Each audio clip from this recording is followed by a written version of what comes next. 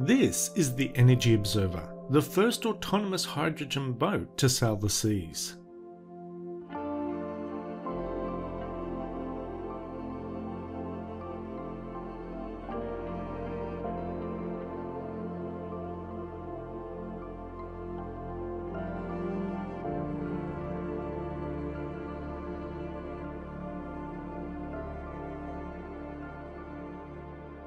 Starting life off as a racing catamaran, the Energy Observer has been adapted to use a mixture of solar, wind, and wave generated power to complement its hydrogen generating technology.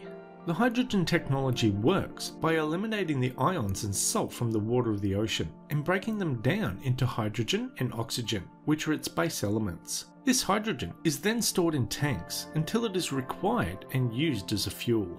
As a supplement to the hydrogen, there are also wind turbines and solar panels to run the ship.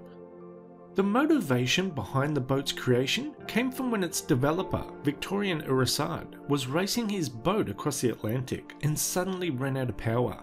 Sails kept the boat moving, but it relied on an engine and generator to keep the electronics running. It also temporarily lost its autopilot and its navigation systems. So Victorien came up with the idea to create a ship that uses different sources of energy. Energy Observer is now a veritable experimental platform for future energies, with a combination of three sources of renewable energies sun, wind, and hydrokinetic, and two forms of storage batteries and hydrogen.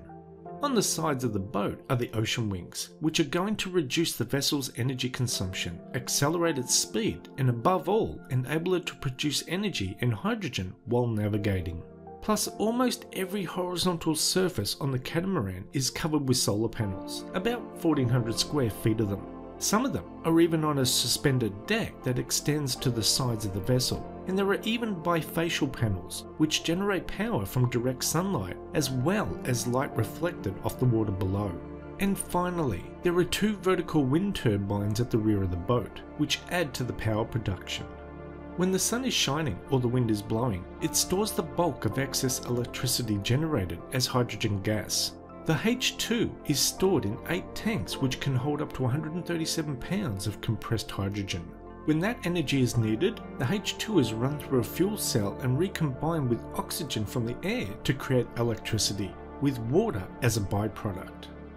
The boat and its crew are on a six year journey around the world, making stops in 50 countries all around the world to show off the boat and talk about what it's capable of with the final goal of successfully finishing the entire trip solely on the energy generated by the wind, waves, sun, and hydrogen without the use of any fossil fuels. By undertaking this autonomous world tour, Energy Observer is demonstrating the performance of hydrogen to companies and decision makers in order to promote its large scale deployment in the decades to come. If this voyage is successful, it could answer a lot of questions and resolve a lot of environmental problems in the near future. Anyway, that's the end of this video. Thanks for watching and we'll see you next time. Bye bye.